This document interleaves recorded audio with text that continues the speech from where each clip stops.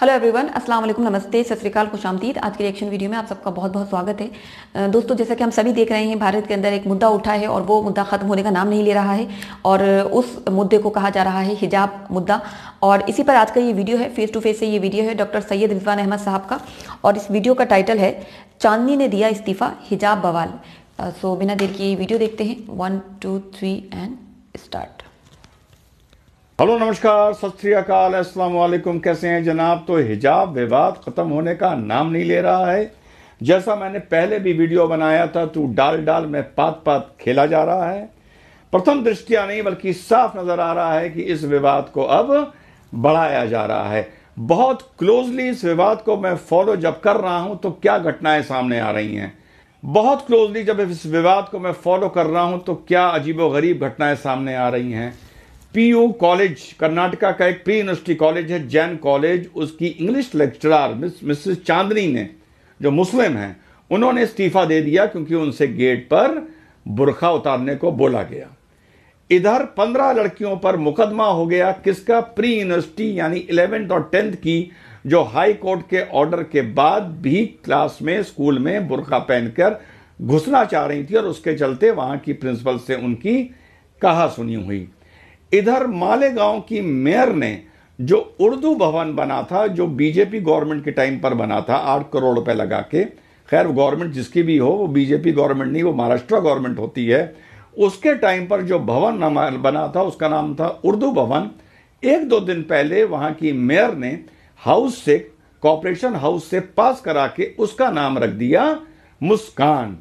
इधर एक बंदा जो तिलक लगाकर स्कूल में अपने एंट्री चाह रहा था पीयू कॉलेज में, उसका तिलक साफ़ करवाया गया, जिससे बजरंग दल हरकत में आ गया और उसने इस घटना का प्रोटेस्ट किया। ये कहते हुए कि तिलक दक्षिण भारत की संस्कृति है, ना कि इसका कोई धर्म से लेना देना है।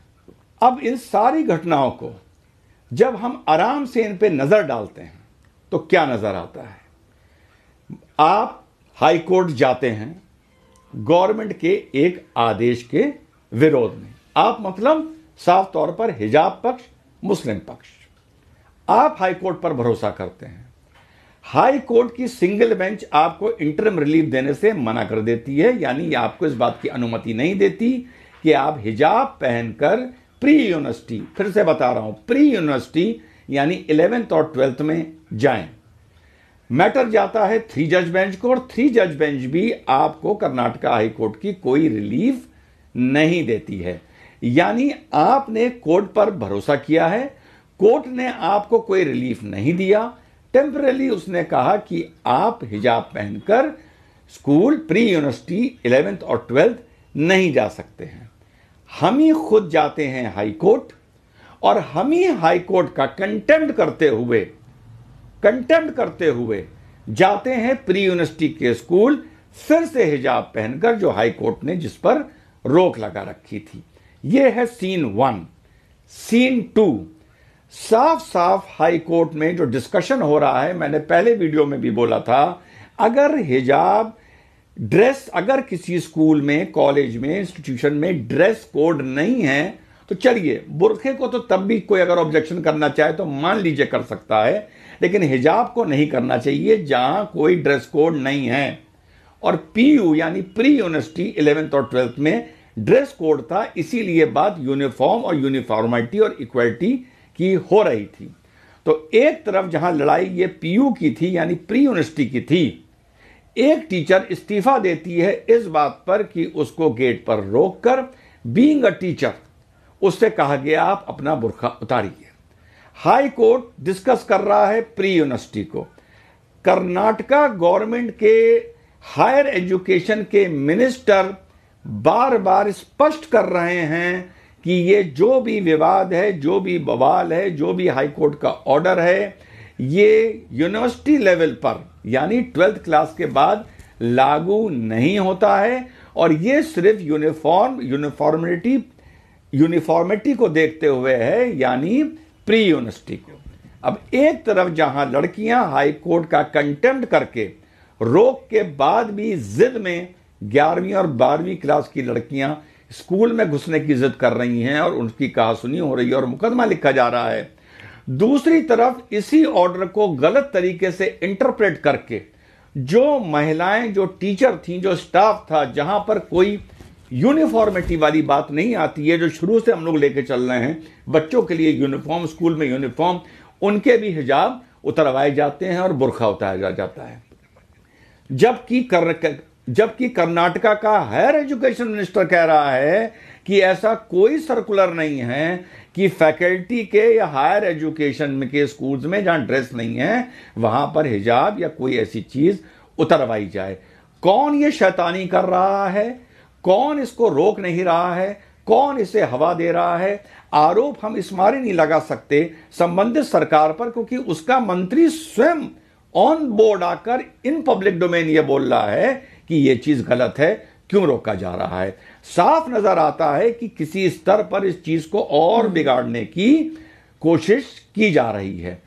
अब इसका जब मैं पहले भी बोल चुका हूँ, मैं इतना परेशान होता हूँ जब इस हिजाब की न्यूज़ सुनता हूँ कि बड़ी बदकिस्मती की बात है कि यह सांप्रदायिकता स्कूल कॉलेज यानी ग्यारहवीं और बारहवीं। और जब ग्यारहवीं और बारहवीं है और उसी स्कूल का विवाद है तो वहाँ दसवीं भी होगा नबी भी होगा आठवीं भी होगा। ये विवाद ये सांप्रदायिकता का जहर वहाँ तक फैल गया है और रुकने का नाम नहीं ले रहा है। सोचिए सोचिए क्या होगा। अगर मान लीजिए हाई कोर्ट की थ्री जज बेंच ये एक डायरेक्शन देती है कि कोई भी रिलीजियस सिंबलिज्म हम स्कूल में नहीं पहन सकते या कैरी कर सकते या दिखा सकते। दूसरा एक ऑर्डर यह आ सकता है कि ऑनरेबल हाई कोर्ट यह फैसला दे कि हिजाब मुस्लिम कल्चर का इस्लामिक कल्चर का इंटीग्रल पार्ट नहीं है एसेंशियल पार्ट नहीं है, जैसे नमाज़, रोजा, हज।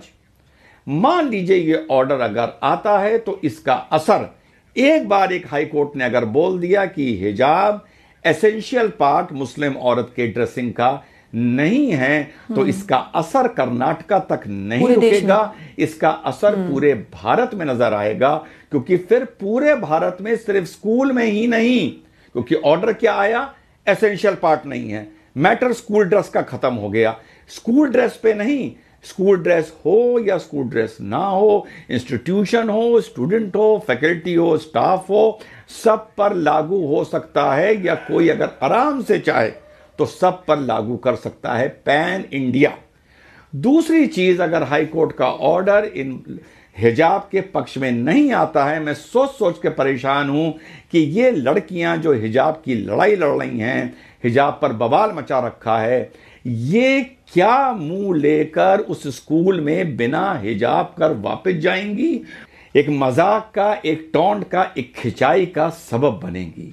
इट माइट हैपन जहाँ तक मैं सोच रहा हूँ कि अगर ऑनरेबल हाई कोर्ट ने हिजाब के पक्ष में फेवर न, में फेवर में ऑर्डर नहीं दिया और ये कहा कि इस्लाम एसेंशियल इस्लाम की वुमेन की ड्रेसिंग में हिजाब एसेंशियल नहीं है तो इन मास इन मास के लड़कियाँ अपने स्कूलों से नाम कटवाएँगी और किसी माइनॉरिटी इंस्टीट्यूशन में जहाँ पर हिजाब परमिटेड है वहाँ पर जाके ये मेरी फीलिंग है बिकॉज़ उनकी सेल्फ रिस्पेक्ट और उनकी ईगो का सेल्फ रिस्पेक्ट कहेंगे इतनी इतनी छिन्नत होगी इतनी हार्म होगी इतना वो मज़ाक का सबब बनेगी कि मुझे नहीं लगता कि उसमें वो उस स्कूल में जाके नॉर्मल फ्रेमवर्क ऑफ़ माइंड में पढ़ाई कर पाएँगी। वो कहाँ जाएँगी? माइनॉरिटी स्कूल में।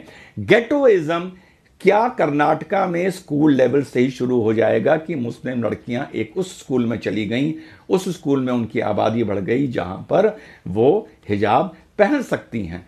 कोशिश क्या होनी चाहिए? कोशिश करी चिकमंगलूर के डिप्टी कमिश्नर साहब ने कि वो एक माइनॉरिटी इंस्टीट्यूशन में गए, क्लास टेंथ के, क्लास ट्वेल्थ से नीचे उन्होंने लड़कियों को कन्विंस किया कि आप ये जो भी हाईकोर्ट का ऑर्डर है, ये टेम्परेरी है, आप आइए और कमिश्नर साहब ने लड़कियों को खुद खड़े होकर इंकरेज किया कि आप क्लास में बैठिए और उन्होंने इन बच्चियों को टिग्नोमेट्री पढ़ाई। ये होता है एक पॉजिटिव कंट्रीब्यूशन एक विवाद में या ऐसी चीज़ में जो समाज को नुकसान पहुँचा रहा है। मान लीजिए, अब पहले मैंने आपको दो सूरत बता दी कि हिजाब के पक्ष में फेवर नहीं आता है। पहला, हिजाब एसेंशियल ड्रेस की लिस्ट से हट जाएगा, जिसका असर पैन इंडिया हो सकता है। दूसरा, ये लड़कियाँ फील करेंगी कि उनकी सेल्फ रिस्पेक्ट को हार्म किया गया है, उनकी ईगो को हार्म किया गया है, और हो सकता है वो उन स्कूलों से नाम ही कटा लें जहाँ वो पढ़ रही थी बिकॉज़ वो अपने क्लासमेट्स के साथ जाके एम्बेरसमेंट ये झेल नहीं पाएँगी कि इतनी लड़ाई हिजाब की हुई और आज वो बिना हिजाब के वहाँ जा रही हैं। तीसरी बात, अगर हिजाब के फेवर में कोई भी रिज़ल्ट नहीं आता है तो रिलीजियस सिंबलिज्म भी रोक दिया जाएगा। अब जो घटना वहाँ पर हुई कि एक, एक, एक, एक स्टूडेंट का तिलक साफ़ करवाया गया। दक्षिण भारत में तिलक का कल्चर हमारे नॉर्थ इंडिया से कहीं ज़्यादा है। It is a part of the culture कि सुबह निकलते हुए वो लोग तिलक लगाते हैं। अब एक स्टेज ये आएगी कि लड़की मान लीजिए बिना हिजाब के स्कूल में जाके बैठने लगी लेकिन दिल में बदले की भावना भी है। दिल में इंसल्टेड भी फील कर रही है। दिल में उसको लग रहा है कि मेरे मज़हब, मेरी मानताओं पे ये इसका प्रार हुआ है। एक बच्चा, एक लड़का तिलक लगा के आया। अब as a as a set program orchestrated program वो लड़की उठेगी टीचर से कहेगी कि ये बच्चा तिलक लगा के आया है, मैं हिजाब अपने बैग में रख के लेके आई हूँ, या आप इसका तिलक साफ़ करवाइए, या मैं अपना हिजाब पहन रही हूँ। या वो प्रिंसिपल के पास जाएगी और एक कंप्लेन देगी या उसके बच्चे पेरेंट्स से कंप्लेन देंगे कि इस क्लास में इस दिन चार बच्चे तिलक लगा के आए थे, उनको भी रोका जाए। एंड में क्या होगा? भले तिलक साफ़ कर दिया जाएगा, लेकिन बच्चों का आप सोचिए, इन बच्चों के बीच में किस तरह की सांप्रदायिक दुश्मनी होगी कि खुदा ना खास्ता कहीं ये देश वो दिन ना देखे कि इलेवेंथ और ट्वेल्थ के स्कूल के अंदर एक law and order problem create हो रही है। आसान भाषा में हिंदू बच्चों और मुस्लिम बच्चों के बीच में मारपीट हो रही है और रॉयड की, दंगे और फिजाद की स्थिति बनी हुई है। आखिरी बात, मान लीजिए कि ऑनरेबल हाई कोर्ट का ऑर्डर इसके फेवर में आ जाता है। खुशियाँ बनाई जाएँगी कि हिजाब पहन सकते हैं, लेकिन जैसा मैंने पहले बताया था, उसके जवाब में, उसके पलटवार में भगवा की, शॉल की स्कार्फ की एक सुनामी आएगी और पूरा स्कूल भगवे और इससे पट जाएगा। पहले मैंने वीडियो में बोला था कि ऑर्डर हिजाब के पक्ष में आए तो हिंदुस्तान हारेगा। पहले मैंने बोला था कि ऑर्डर हिजाब के खिलाफ आए तो भी हिंदुस्तान हारेगा। अफसोस की बात है, हम लोग एक परिवार के हैं और हमारा कोई भी मसला आपस में हम नहीं सुलटा पाते और हर मसला कोर्ट जाता है और वहाँ पर खास तौर से एक वर्ग को या एक पक्ष को शर्मिंदगी उठानी होती है। I wish I will post this video to few of my people who are known to me in Delhi who are associated with BJP and other parties मैं कोशिश करूँगा उनको भेजूँ और उनसे रिक्वेस्ट करूँ कि ये मैटर स्टूडेंट्स का मैटर कर्नाटका गवर्नमेंट को, कर्नाटका की मुस्लिम काउंसिल को एजुकेशन काउंसिल को, वहाँ के इंटेलेक्चुअल्स को सिविल सोसाइटी को, वहाँ की गवर्नमेंट को मैं रिक्वेस्ट करूँगा कि वहाँ के जितने भी इंटेलेक्चुअल्स हैं एकेडमिशियंस हैं, वहाँ के इस्लामिक काउंसिल हैं रिलीजियस काउंसिल हैं स्कूल सीनियर स्कूल्स के प्रिंसिपल्स हैं, उनका एक बॉडी बननी चाहिए और वो बैठकर इस पर एक यूनानमस डिसीज़न ले कॉम्प्रोमाइज डिसीज़न ले थोड़ा कोई दो कदम चले, थोड़ा कोई एक कदम चले, ये मैटर इसीलिए हाई कोर्ट इसको टाल रहा है। हाई कोर्ट से जो भी ये मैटर आएगा, इससे एजुकेशन हारेगी, बच्चों के बीच में आपसी भाईचारा और अंडरस्टैंडिंग हारेगी और कुल मिला के भारत हारेगा। Our society should come forward और इस तू डाल डाल मैं पात पात, तू शेरनी तू फलाना, इस किस्से को खत्म करें। इसको मेलो डाउन करें और एक सोल्यूशन निकालें जिससे कोर्ट के बाहर आउट ऑफ़ कोर्ट सेटलमेंट हो और एक यूनोनमस एफिडेविट कोर्ट में लगे कि this matter has been amicably sorted out ताकि इसका असर पूरे भारत में ना देखने को मिले। क्योंकि अगर ये देखने को मिला तो इसका मतलब ये होगा, सांप्रदायिकता एक स्तर और नीचे गिर गई या यूँ कहें एक स्तर गंदगी में और ऊपर बढ़ गई। ये सांप्रदायिकता हमारी टेंथ इलेवेंथ ट्वेल्थ के बच्चों में ऑफिशियली आ जाएगी जिसको हम चाहते हुए भी कभी खत्म नहीं कर पाएँगे। और आने वाली पूरी एक जनरेशन को हम इसी स्टेज से इस नेशनल स्टेज से सांप्रदायिक और कमनल कर देंगे।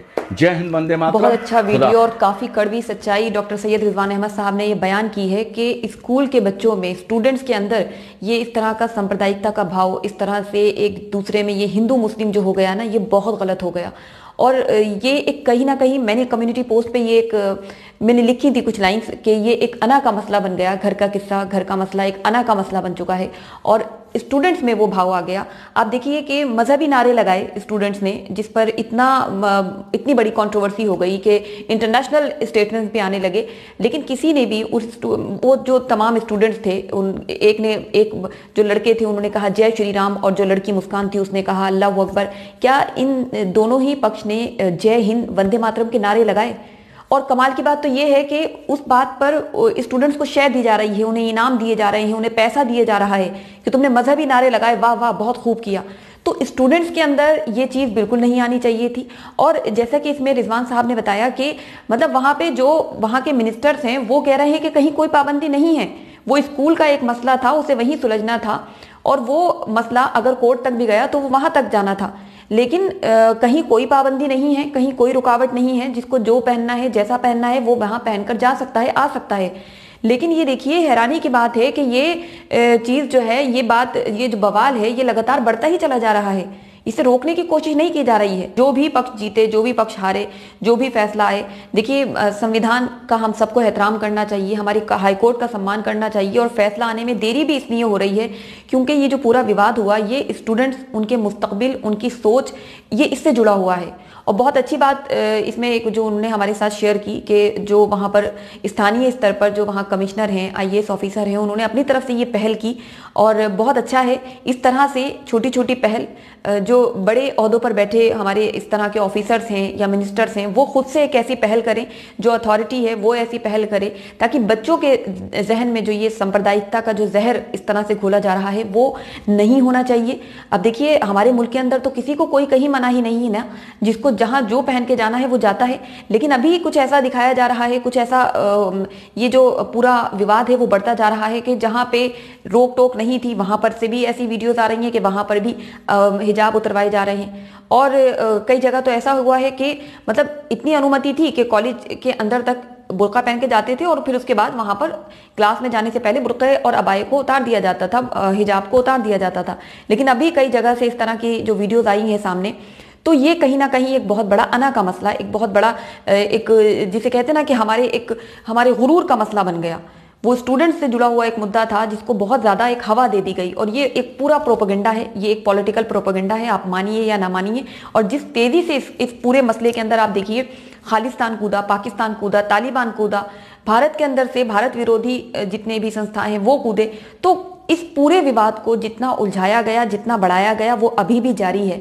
तो बहुत ही समझदारी से इस पूरे मसले को सुलझाना चाहिए और बहुत सही बात कही, स्थानीय स्तर पर ये पूरी कोशिशें होनी चाहिए, जितनी भी संस्थाएँ हैं, उनकी ये कोशिश होनी चाहिए। और बहुत हैरानी की बात है कि मिनिस्टर कह रहे हैं कि हमने कहीं कोई रोक नहीं लगाई है किसी को भी हिजाब या बुरक़े पर रोक नहीं लगाई है, वो एक स्कूल का मसला था। लेकिन लगातार इस तरह से हो रहा है कि मसले को और बढ़ाया जा रहा है, विवाद को और बढ़ाया जा रहा है।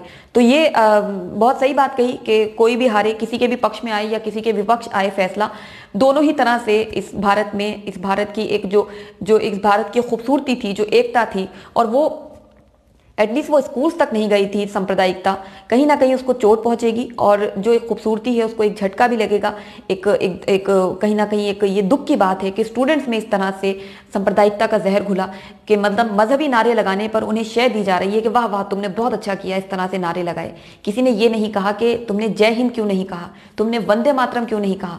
तुमने भारत माता की जय क्यों नहीं कहा? तो ये बहुत गलत है। स्टूडेंट्स के अंदर अगर इतना ज़्यादा उनके अंदर एक धार्मिक भाव आ रहा है कि मतलब ये ये चीज़ ठीक नहीं होती है। किसी भी चीज़ की, किसी भी भाव की, किसी भी जज्बे की जब अति हो जाती है ना तो वो बहुत बड़ा परेशानी का सबब बनती है। वो अभी हम देख रहे हैं जैसे कि स्टूडेंट्स के बीच में ये चीज़ बिल्कुल ठीक नहीं जा रही है। सो so, स्टूडेंट्स उनको भी अभी समझना होगा क्योंकि आप अपना मुस्तबिल बना रहे हैं, आप एडुकेशन इसीलिए हासिल कर रहे हैं ताकि आप अपना और अपने पूरे मुल्क का, अपने वालदेन का, सबका बेहतर कर सकें, सबके लिए बेहतरी कर सकें मुस्तबिल बना सकें। तो आपको भी बहुत इतमान से सोचना होगा कि इसे अना का मसला ना बनाकर आपस में बैठ कर सोच समझ कर अपने बड़ों से सीखिए, उनसे समझिए। रिजवान साहब को जो सुन रहे हैं और जो स्थानीय स्तर पर जो संस्थाएँ हैं, वो पूरी कोशिश करें। और जो ये इतना उलझ रहा है, ये पूरा विवाद ये ख़त्म होना चाहिए। और फैसला जो भी आए कोर्ट का, उसका हम सबको सम्मान करना चाहिए। चाहिए, ना कि उसे एक अना का मसला बनाकर इस मुद्दे को ज़्यादा खींचना चाहिए। तो दोस्तों, आपकी जो भी राय हो, मुझे कमेंट सेक्शन में ज़रूर बताइएगा। और बहुत अफसोस होता है मुझे भी ये देख करके स्टूडेंट्स में मतलब मजहबी नारे लगाने में इतना ज़्यादा क्रेज उनमें देखा गया, इतना ज़्यादा उनमें जोश मजहबी नारों को लेकर, जो कि एक बहुत ही पर्सनल मैटर होना चाहिए। आपका मज़हब, आपका अकीदा आप, जिस भी पंथ संप्रदाय, जिस भी धर्म में, जिस भी जिसमें भी आप बिलीव करते हैं, वो आपका पर्सनल होना चाहिए, लेकिन वो घरों से बाहर निकल चुका है तो वो मंदिर मस्जिद तक रहना चाहिए था, लेकिन नहीं, वो सब सड़कों पर आ चुका, और सड़कों पर आते आते अब वो स्कूल्स तक हमारे स्टूडेंट्स तक, बच्चों तक पहुँच गया। ये बहुत गलत हुआ। ये नहीं होना चाहिए था। खैर दोस्तों, आपकी जो भी राय हो, मुझे कमेंट सेक्शन में ज़रूर बताइएगा। फिर मिलूँगी एक नई वीडियो के साथ। रिजवान साहब के बहुत मशवरे जो बहुत अच्छे हैं, और इस पर ज़रूर अमल करना चाहिए, ज़रूर अमल होना चाहिए। और ये जो पूरा विवाद जो बढ़ाया जा रहा है, ये केवल और केवल भारत विरोधी दुष्प्रचार है। उसके अलावा मुझे कुछ नहीं लग रहा है। मैंने शुरू से कहा है, ये एक प्रोपोगंडा है। इसमें हमें, हमारे स्टूडेंट्स को नहीं उलझना था, लेकिन उलझे और इसको बहुत ज़्यादा बढ़ा दिया, और आज अना का मसला बन गया। फिर मिलूँगी एक नई वीडियो के साथ। बहुत बहुत शुक्रिया। जय हिंद।